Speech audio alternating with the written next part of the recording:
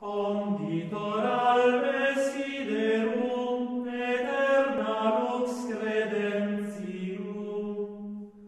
Christe redemptor omnium, exaudi preces supplicum, qui